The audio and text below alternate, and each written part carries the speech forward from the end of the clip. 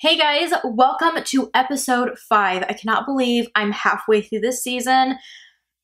That is right, I'm only going to have 10 episodes this season and then I'm going to come back for season 2 probably a week or two after then. So I'm going to be taking a week or two break in between each season. Hope you guys don't mind. But we are to the halfway mark with this season, and this is probably going to be the most disturbing case for this season when it comes to everything that went down here. And it this case literally makes my blood boil, but it was definitely a case that just stuck with me. Um, so this is a very newer case than some of them. I know uh, Brooke Skylar Richardson, the first episode, was pretty recent too, but this one took place in 2018, so just like two years ago. And I follow along with this case from the get go of the missing persons and then when everybody found out about it. And I was just devastated. And I literally watched all the footage that was put out of like the cops' body cams and like that type of ordeal. Oh my gosh. So this is going to be the case of Chris Watts. He is one POS and ugh, okay. I do it story time, so I'm kind of giving it away. So let's just go ahead and jump into it. Okay, so Chris and Shanann Watts, um, well, before that, before she was Watts. They met through Facebook, um, of all places, and he had sent her a friend request, and she just kind of thought, oh, okay, whatever. Um, you know, what could this hurt? And in a brief Facebook Live video that she has on her page, she talked about this and how he had sent her the Facebook request and that she just thought, oh, nothing of it. And she said, and funny enough, eight years later, here we are, married, we have two kids, and we live in Colorado. So they did, in fact, get married in 2012. Shanann was a stay at home mom, and she was working for a company called Thrive, I believe. I think it was Thrive. It was one of those type of businesses where she's selling products and like growing her team and that type of thing through social media. So she stayed at home with the girls while she did so. She was always on Facebook endorsing the products and going live and just trying to be very personal with people. She had a very uplifting attitude, and um, a lot of people really liked Shannon. And you might think that I am saying Shannon because I did label this episode Chris Watts, but her name is actually Shan Ann. It's a very unique name, but I just wanted to mention that so that you guys didn't get confused with it. But so uh, Chris had a really good job.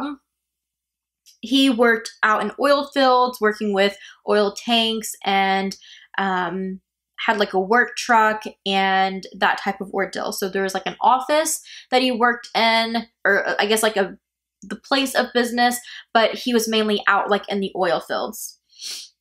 But he had a good job, and she was able to stay at home with the babies um, in a very nice home. They had two little girls, Bella, who was four, and Celeste, who was three. And on June 11, 2018, Shan Shanann announced the news of a baby on the way. She was wearing a shirt that said, Oops, we did it again. And she wore it and sat up her phone for a Facebook Live where Chris walked into the kitchen and very awkwardly was just kind of like, Oh, I like that shirt. And then she, I guess, had to pick up the test and show him, like, well, it's actually like, I'm surprising you, I'm pregnant again. And he picks up the pregnancy test, and mind you, he's on live Facebook, so people are like watching and stuff. He just kind of awkwardly like giggles and is like, um, while looking at the test, he's like, oh, so pink means because usually pregnancy tests are like, you know, pink on the ends. And Shanann stops him before she said before he says anything else and she's like it's just a test. and he still says something like does it mean another girl and she's just like I don't know, it's just the test. So it's very awkward. It's kind of like she was a little irritated over like his reaction with everything that she had set up and I think she was trying to make it look more perfect through Facebook than what it really was at home. But sadly, during this time, Chris was actually emailing another woman at work and starting to start an affair. Her name was Nichol Kessinger, and I'm going to be calling her Nikki. And the reason I say this is because Shanann, one of her best friends, is actually, her name is Nicole too. She goes by Nikki too, but I'm going to stick to saying Nikki for the woman, for the woman that had the affair. I'm just going to say it, Chris's mistress. Um, and I'll say Nicole when I'm talking about Shanann's friend. At first, it wasn't really anything. Nikki had sent out an email to all the men that go out to the oil fields just talking about something at work. And Chris replies with, Oh, thank you, whatever. I hope the rest of your day is great. And I guess from there, they kind of started talking a little bit. So, next thing you know, she sends Chris another email saying something along the lines as, Thank you for the talk yesterday morning. It really meant a lot. Um, yada, yada, yada. On June 22nd, Chris and Shan Shanann leave without the kids to San Diego for an earned trip that she got through Thrive. So they're out there with all of Shanann's friends that work through Thrive too, but Chris is with her and they're posting these pictures of hugging and being close and in love and all this kind of stuff all over Shannon's page. After that short trip, Shannon packs up packs up her and the girls' bags and literally turns around and flies out again to spend the summer with her parents and Chris's parents because they both live in North Carolina. So she was going to stay with her family but visit Chris's family too. Unfortunately, Chris had to stay at home because he had to work, but it actually worked out in his favor and not so much Shanann's. While she was gone, Chris started texting Nikki. So they had exchanged these emails back and forth, just friendly or whatever. And Nikki knew he was married. She said, Thank you for like this conversation that you had the other day. It meant a lot to me. And he's like, You know, I just like being able to talk to people who understand me and blah, blah, blah. And during this conversation, Nikki replied with, yeah, I really hope one day that I have the perfect house, the perfect spouse, or, you know, the perfect house, the kids, and to be with someone like you, like you have with your wife. And he just kind of replies with something like, oh, well, it's, you know, not always what it seems, blah, blah. It's just, it, it, it just does not even matter to this case, honestly.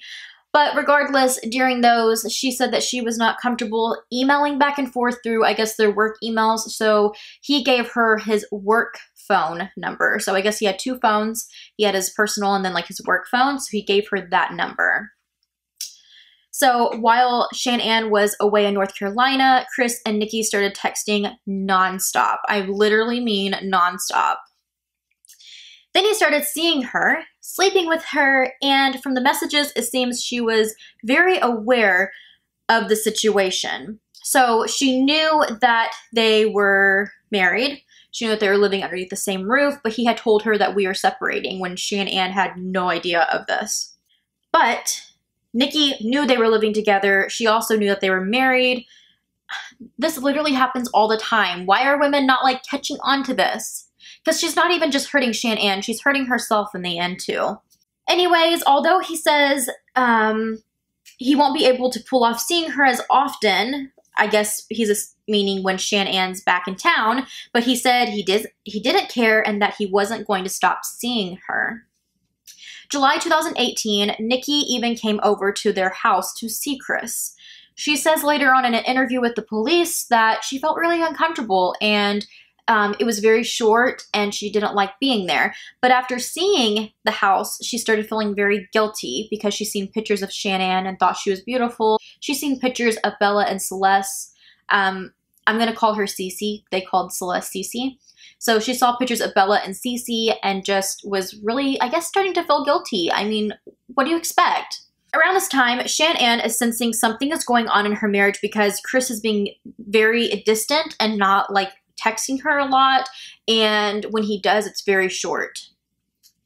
There is a text from her to her friends asking for advice and venting about it, all while Chris and Nikki are dating and exploring different places. Literally they went all over the place while Shannon was out of town. On July 25th, Shannon called Chris and they were on the phone for 23 minutes. During that phone call, Nikki had called and left a voicemail of her giggling and saying, I missed your face. I was just calling to say hi. Call me back. Bye.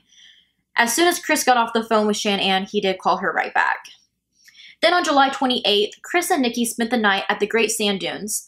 On this trip, there's photos, there's videos of them, and there's a very, very cringy video of Nikki walking towards the phone while Chris is recording and thanking him for coming with her, that she's having a wonderful time, and he means a lot to her. Chris had a private locked app with photos of them together, like, I guess, very raunchy photos. And while Shanann was away, she was not only visiting her parents, like I said, but also Chris's parents, who lived close to hers. They wanted to see the girls, but while they were there, um, there was definitely a falling out.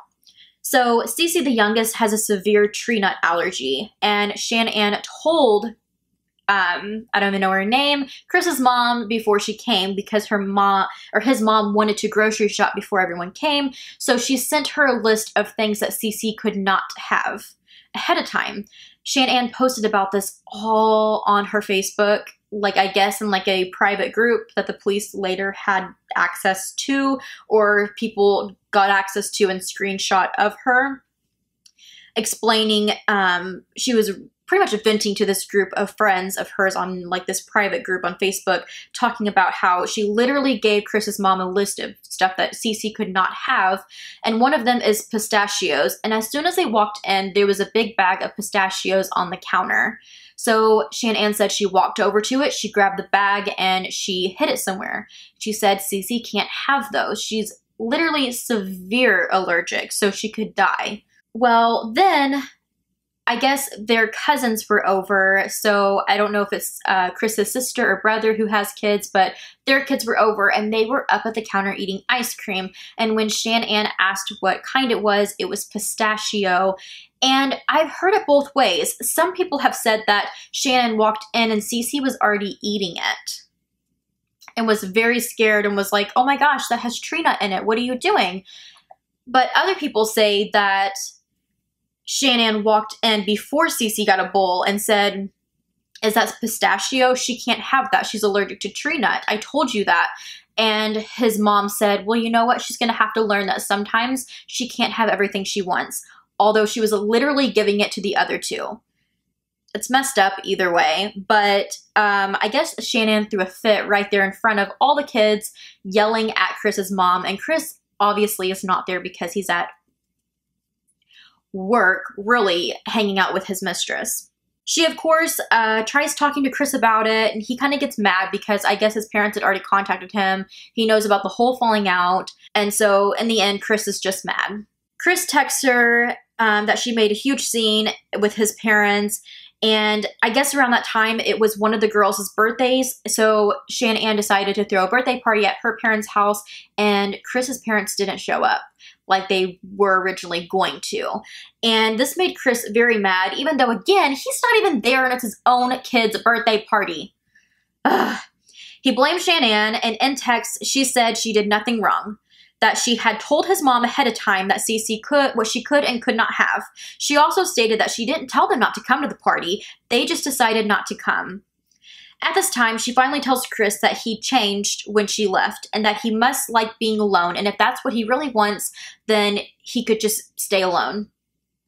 She said she was tired of being treated this way and that she wasn't going to let what he was doing affect her and the baby that she was carrying.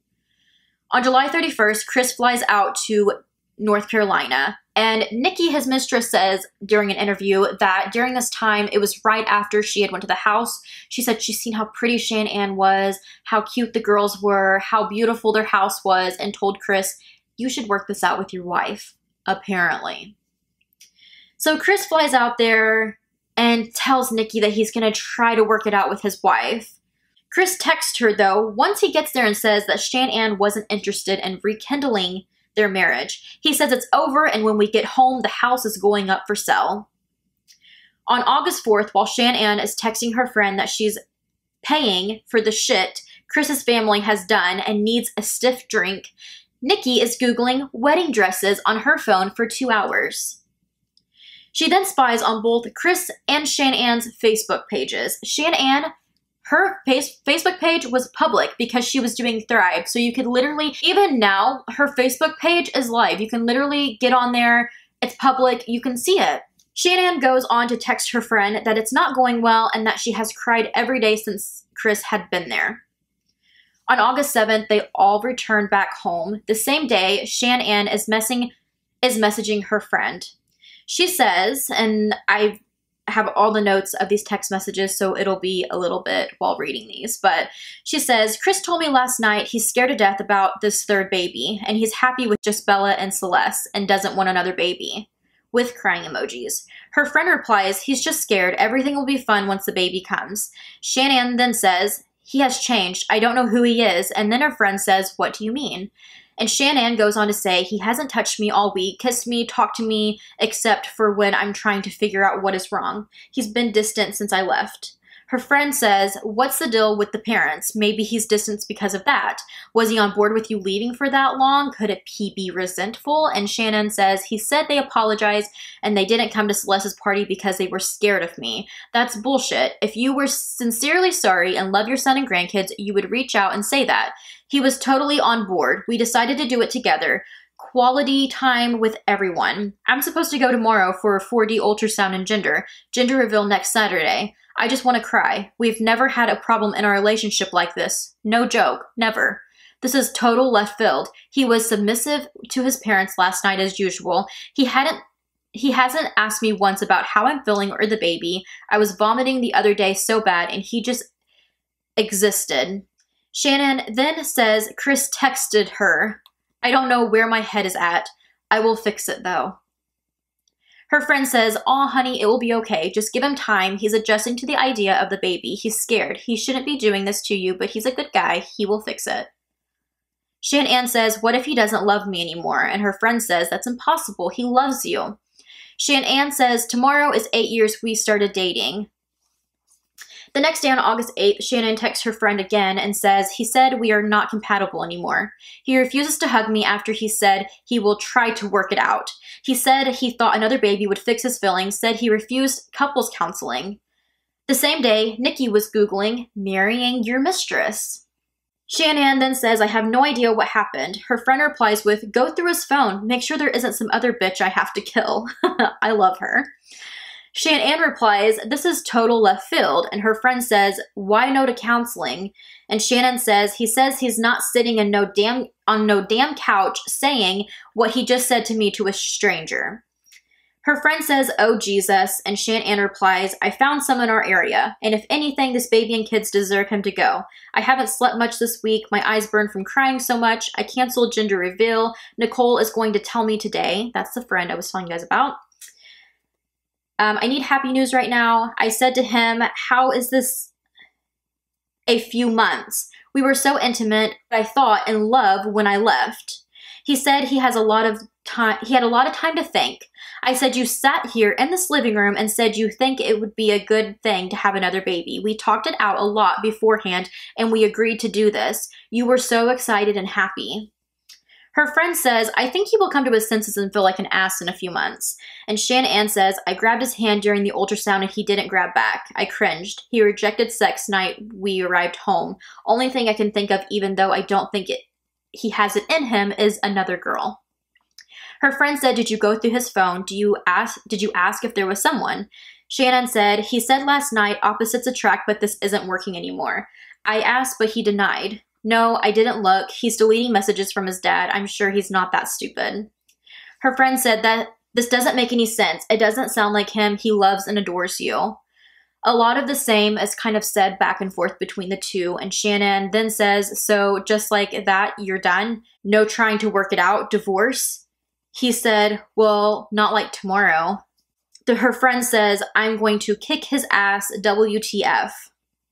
Shanann says maybe she'll call his mom and tape it and suck it up and make things right with her.